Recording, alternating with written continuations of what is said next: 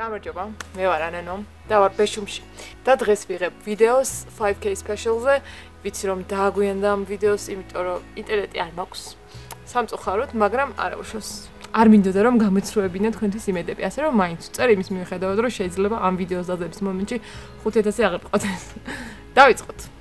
დღევანდელ ვიდეოში 10 ნახატს დავხატავ, რომელსაც მე გამომწერებს ესე შემთხვევითობის პრინციპით გავგზავნი და თან გაგცემთ კითხვებზე პასუხებს, იმიტომ რომ გთხოვეთ და გისვათ კითხვები ჩემთვის ის რაც გაინტერესებდათ და ამ ვიდეოში მინდა რომ თქვენს კითხვებს უპასუხო. მოკლედ მე რამდენიმე კითხვა დავსკრინე, იმდია ყოველს ჩავატევ.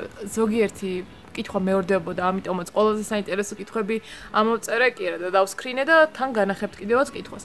პირველი კითხვა იმისთვის რომ შექმნა ნახატი ან სურათი აუცილებელია თუ არა იყო პროფესიონალი. არა. შემდეგი ანუ არა იმიტომ რომ თუ გინდა რაღაცის სურათის გადაღება ან ნახატის დახატვა, არ აქვს მნიშვნელობა რამდენად კარგი ხარ ამ საქმეში, თავიდან არავინ არ არის კარგი თუ რაღაცა ღვთი კურთხეული ნიჭით არ ხარ დაჯილდოვებული, ამიტომ თუ არ დაიწყე საიდანღაც მხოლოდ იმის გამო რომ რაღაცები გეშინია, ვერასდროს ვერ განვითარდები. აუცილებელია დაიწყო და მე რო ყველაფერი გამოგივა. წავედით. შემდეგ კითხვა არის რომ საკაცელორი ნივთებს არ გაათამაშებ ძალიან მინდა და ანუ ვაპირებ მაგას თუ რომელიმე საკაცელორი მაღაზიასთან ვითანამშრომლებ მომავალში ოღონდ გარკვეული საბსკრაიბერების რაოდენობის შემდეგ ესე კითხვა უცხოეთში თუ სწავლობდი და როგორი იყო იქ სწავლა და რითი განსხვავდებოდა საქართველოსში სწავლის მეთოდიკისგან. სწავლის მეთოდიკა თითქმის არ განსხვავდებოდა, იმიტომ რომ ჩვენს ლექტორებს უცხოეთში მიღებული განათლება და ცდილობენ რომ უცხოური მეთოდიკა შემოიტანონ საქართველოსშიც, მაგრამ განსხვავდებოდა ძალიან სულ სხვა კუთხით. მაგალითად, უფრო მეტად გრძნობდი რომ იყავი სტუდენტი, გქონდა სტუდენტური კარტა, საიდანაც შეგეძლო მისვლა უნივერსიტეტში და იქვე ოთახში რაღაცების ამოპრინტერება, ანუ აქ რომ მიდიხარ და სხვები გიპრინტერებენ, იქ არავინ არ გეხმარებოდა საერთოდ. თან ამ სტუდენტურ კარტაზე გქონდა ფული და როცა გინდა დაიყიდი ყავას, რომელიც 40 ცენტი ღირდა და ძალიან გემრიელი იყო. კიდე ყველგან დადიოდი ველოსიპედით და ძალიან მარტივი იყო უნივერსიტეტში ველოსიპედით მისვლა. ესე მწვანე მინდორზე იწვდნენ ხოლმე სტუდენტები და რაღაც ერთმანეთში ლაპარაკობდნენ, კითხულობდნენ, ერთობოდნენ და ანუ უფრო მეტად გრძნობდი თავს სტუდენტად. ეგ იყო განსხვავება. გაიხსენე ყველაზე ბედნიერი მომენტი შენ ცხოვრებიდან და ანუ ეხლა რაც მახსენდება არის რომ ბავშვობაში ძალიან მიყვარდა ლეკვები, ისედაც ეხაც მიყვარს რა. და ერთ ქალს მოყვებოდა პატარა ძალიან ფუნფულა ლეკვი. და მეთქი ნეტა ჩემი იყოს ეგლეკვი რაღაც ეს გავარსაწყალი თვალებით თან ბერნი ვარ რა ეზოს ბავშვები. და ამ ქალმა შეუხვია სადღაც და ეს ლეკვი დარჩა რა ანუ ჩოღლებრივი ქუჩის ლეკვი იყო ვაიმე ვეთით ამ ლეკუს გავკოჩეთ ლამის ვაჭავეთ ვაზვით დავარწყეთ დავმანეთ და ჩვენ ვზრდით მას მე ეს იყო მე მგონი ყველაზე ბედნიერი მომენტი ჩემ ცხოვრებაში. შენს რომელიმე ნახატ სტატუს დაიხატავდიო და არა თუ დავიხატავდი რაიმე სტატუს აუცილებლად წინასწარ გავაკეთებდი დიზაინს და მე დავიხატებდი. არსებული ნახატებიდან არ დავიხატავდი და კიდევ ერთი კითხვა, ზეთის საღებავები თუ გიცდიაო და კი ადრესულ ზეთის საღებავებით ხატავდი, უბრალოდ მე მივხვდი რომ ეს არის ჩემი სტილი და ვერ დაველოდები ზეთის საღებავი როდის გაშრება ერთი თვის მეერე. ამიტომ გადავედი აკრილზე. ანეტიკომ მკითხა რომ იუთუბერობა როგორ მიდისო ხო და კარგად 100000-ზე გნახავ. ბუზო, წადი ბუზო. არა ჭინიან ჭველა. შეიძლება დედოფალი. მინდორ ფთებიო. წადი, წადი. კა, დაგრჩება იმპერია. ოდეს მე თუ ქონია მომენტი, როდესაც ფიქრობდი რომ რამეს ვერ შეძლებდიო. აი თეთქმის ყოველ დღე მაქვს ეგ მომენტი და ნებისმიერი ნახატის დაწყებისას ფიქრობ რომ აი მე ღმერთო ეს რა საშინელება გამოდის ან საერთოდ და საბოლოო ჯამში თუ ბოლომდე ეცდები რომ ის რაღაც გამოიყო ნუ აუცილებლად გამოგივა და თუ არ გამოგივა კიდე დაიწყებ თავიდან რა პრობლემაა შემდეგი კითხვა არის უკვე YouTube-დან დაძმა ყავსო და არა აფან შეხვედრას ხო არ მოაწყობოდა.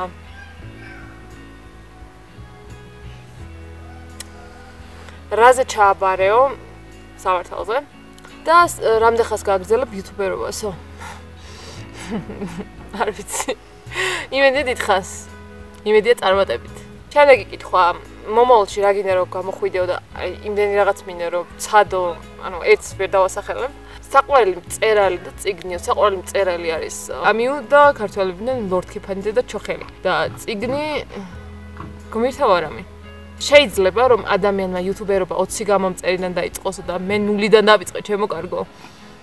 რას ურჩევდი ახალ იუთუბერებს? იმას რომ შრომა ჩადონ, არ იწუწუნონ და კარგად დაამუშავონ. ეს არის კითხვა-პასუხის მეორე დღე, რატომღაც მეგონა რომ ერთი ნახევარი საათი ვიდეო მქონდა გადაღებული და სრულად საკმარისი იყო, მაგრამ რომ დავამუშავე 5 წუთი გამოვიდა. ამიტომ კიდე შემდეგი 10 წუთი თქვენს კითხვებს უპასუხებ. იი! შემდეგი კითხვა არის ზოდიაქოთი რა ხარო და მორიერი და ბლოკნოტებს, ლაინერებს და ასე შემდეგ, რომელ მაღაზიაში ყიდულობ ხოლმეო? და რომელ მაღაზიაშიც ყიდულობ კი ვიღებ ვიდეოებს ვიყიდე ზოგიერთი ორქსერვში ზოგი საკანცელერიო სახლში ზოგი კიდევ ინტელექტში რას ეტყოდი შენს თავს მომავალშიო და იმედია იქ ხარ სადაც უნდა იყო და თუ არ ხარ რას მიკეთებ ნინო მოგწერა რა ხიბლობს ადამიანშიო ხო და ძალიან კარგი იუმორი გქნობა ინტელექტი გვარი შვილობა კარგი ოჯახი ფული.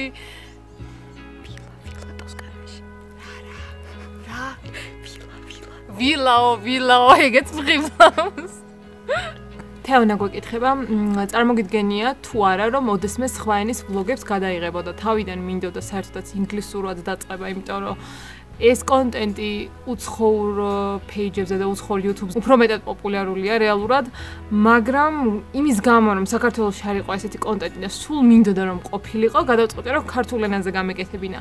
არ ვიცი სამომავლოდ რამდენად წარმატებას მივაღწევ ქართულ ენაზე, რომ გადავიღო ხოლმე ისე ვიდეოები, თუ წარმატებას მივაღწია, ალბათ არ გადავიღებ უცხოურად და თუ არ დამიფასდა სავიდი და ჩავთვალე რომ იცი რა ამდენი შრომის ჩადებას აზრი არ აქვს აქ, მე ალბათ გადავიღებ ინგლისურად.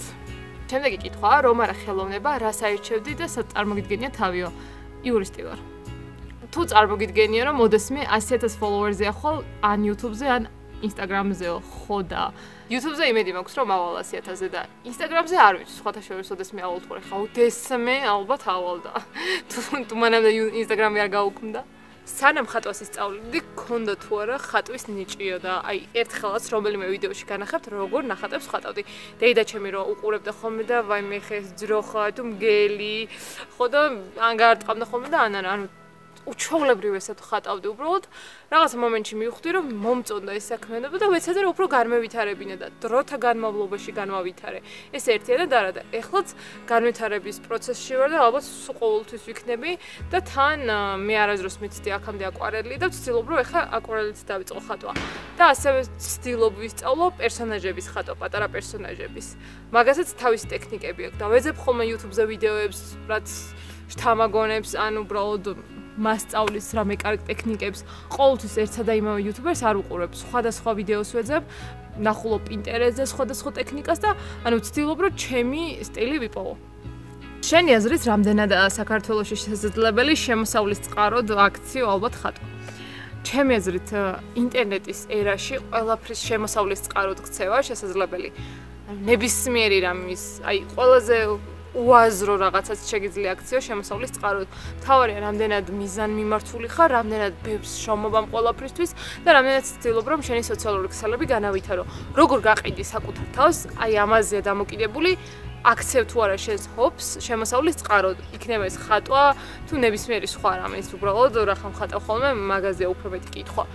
ანუ მთავარია რომ თქვენი გვერდი მოაწესრიგოთ, ანახოთ ხალხს როგორ მუშაობთ, პროცესი გადმოსცეთ, მოუყვეთ პატარ-პატარა ისტორიები და ასე შემდეგ. ანუ იმოქმედოთ ადამიანების გრძნობებზე და როცა დაინახავენ რომ შენ შრომობ ამაში დებ რაღაც კრეატივს და ასე შემდეგ აუცილებლად განვითარდება. როდის და რატომ გადაწყვეტე Instagram-ზე და YouTube-ზე პოსტების დადება? Instagram-ზე გადავწყვეტე ალბათ წელიწად ნახევრის წინ, რაღაცა სურათებს ჩემს self-ებს დედვი ხოლმე და ასე შემდეგ და ნახატებს და რაღაცებს უბრალოდ რაღაც უაზრო ჰეშტეგებს მიეწერდი ხოლმე და იყო. ერთხელაც გერმანიაში რომ წავედი სამუშაოდ იქ ტყე იყო. და იმ ტყის რამდენიმე ლამაზი სურათი გადავიღე მე რაღაცა მომეწონა ეს ლამაზი სურათები ერთად დაწყობილ და ვიფიქრე რომ მოდი ამ ჩემს self-ებს წავშლი და დავიწყებ უბრალოდ ჩემი გადაღებული სურათების ატვირთვას. მე ვიყავი წასული საზღვარგარეთ სასწავლებლად და იქაც ვიღებდი ხოლმე მოგზაურობისას რა მომენტიც მომეწონებოდა და სამწუხაროდ მაშინ ჩემი თავის სურათებს საერთოდ არ ვიღები და თითქმის არ მაქვს ევროპაში ჩემი სურათები თუ არ ჩავთვლით რაღაც კონკრეტულ ქალაქებს როცა უკვე მივხვდი რომ იცი რა მოდი შენი სურათებიც უნდა დადო, იმიტომ რომ ეს უფრო აინტერესებს ხალხს. პიროვნება აინტერესებთ უფრო მეტად ვიდრე რაღაც ფოტო, იმიტომ რომ მე ხა არა ვარ ფოტოგრაფი და შესაბამისად პროფესიონალურ ფოტოებს ვერ შევთავაზებდი ხალხს და ხა ტელეფონით გადაღებულ ფოტოს ჯობდა რომ ისევ ჩემი ჩემი სურათი დამედო. ხო და მე გადავწყვიტე რომ უფრო სერიოზულად მოვყიდებოდი ამ ყველაფერს და დღემდე ვცდილობ რომ არ დავკარგო ეს мотиваცია. შემდეგი კითხვა არის სამი რამ რის გარეშეც ვერ ძლებ და ვერ წარმოგიდგენია სიცოცხლე. ეს ვერ მივხვდი ნივთი თუ ღირებულება, მაგრამ ალბათ სიყვარული, თვითგანვითარება და საკუთარ თავის აღმოჩენა. შემდეგი კითხვა, საუკეთესო რჩევა, რაც კი ოდესმე მიგიღია. არ მახსოვს ვინ მითხრა და რატომ მითხრა, მაგრამ დაიწყე სანამ მზად იქნები. და კიდევ ერთია, თუ თხასაც ზეროს ახარ გიჩვენე მეგობრებთან ერთად თუ მარტო. მეგობრებთან ერთად, იმიტომ რომ მეგობრებთან არ ვარ ხოლმე თხასიათზე. მოკლედ მეგობრებო, სულ ეს იყო დღევანდელი ვიდეო. იმედია მოგეწონათ. ამ ვიდეოს გადაღების შემდეგ წავალ ბათუმში და უკვე იქიდან გავგზავნი ბარათებს ყოველას ამათ ადამიანს. თუ მოგეწონათ ვიდეო, აუცილებლად დამილაიქეთ და გამოიწერეთ ჩემი არხი, რომ მალე ავიდეთ 10000-ზე. ალბათ 10000-ზეც გადავიღებ რაიმე სპეციალ ვიდეოს, ოღონდ ცოტა უფრო დიდ მასშტაბებში. და თუ არ დაგეზარებათ, დამაფოლოვეთ Instagram-ზეც, იმიტომ რომ კარგი ადამიანი ვარ. პრინციპში სულ ამის თქმა მინდოდა. შემდეგ ვიდეომდე.